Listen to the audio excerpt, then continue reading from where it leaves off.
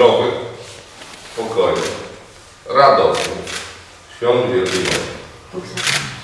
Dużo, dużo radości, pomyślności, zdrowia i spokoju. I żeby nam się tutaj dobrze żyło, jak Pan Bóg nam tu wymyślił, a my przychodzimy. Piotr Drek.